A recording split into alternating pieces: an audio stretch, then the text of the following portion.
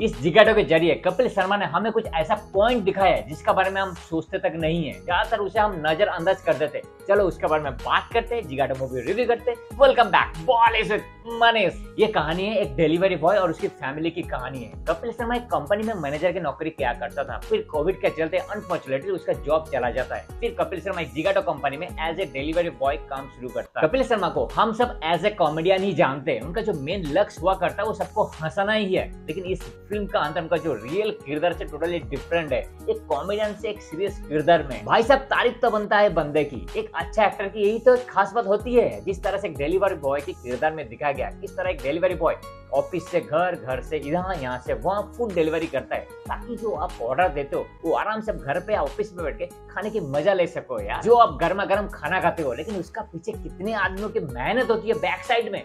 वो आप जान सको ठीक से। और इससे जुड़ी बहुत सारे ऐसे घटनाएँ जो बैठे होते हैं और ऑर्डर दे दिया, भाई, मेरा खाना क्यों नहीं आ रहा? है क्यों लेट हो रहा है? तो उन सब के लिए एक छोटा सा मैसेज है, भाई, सब कुछ आप जान सके ठीक से। और जो भाई साहब को माल मसाला वाली फ़िल्म पसंद है ना, कृपया करके इस फ़िल्म से दूरी जाइए। ना ही फ़िल्म का अंदर कोई माल है, ना है कोई मसला है, ना है कोई गाना है, ना कोई ऐसा इंटरटेनिंग है, ऐसा वैसा। बस ये फ़िल्म का जो लेंथ है ना टोटल एक घंटा पैंतालीस मिनट का है मतलब एक नॉर्मल फ़िल्म से बहुत कम है, जिसके चलते आप फुल इंगेज रहोगे, दिल से देखोगे तो। एक आम ज़िंदगी वेरी लोअर फैमिली की कहानी है। दो बच्चे, बीबी और एक बुरी माँ से जुड़ी हुई है। और एक फैमिली को खुश रखने के लिए लाइफ में कितना स्ट्रगल करना पड़ता है। और फैमिली के हर एक मेंबर आपको कितना सपोर्ट करता है, वो देखकर मज़ा आ जाता है। ऐसे कंटेंट वाला फ़िल्म इंडिया में बहुत ही कम दिखाई देता है। और कभी कभार ऐसा फ़िल्म रिलीज़ भी हो जाता है ना तो सब मिलकर उसे नजरअंदाज कर देता है। और ये असलियत भी है। ज़्यादा एक्सपेक्ट नहीं रखना चाहिए ऐसा फ़िल्म पर, क्योंकि ये फ़िल्म माल मसला इंटरटेन वाला नहीं होता है। ये नॉर्मल फ़िल्म से थोड़ा अलग होता है तो हर किसी को शायद पसंद भी नहीं आएगा। एक बंदा अपने मेहनत से यहाँ तक पहुँचता है। फिर ज़िंदगी में ऐसे करवट आता है क्योंकि वो बंदे को फिर से ग्राउंड लेवल से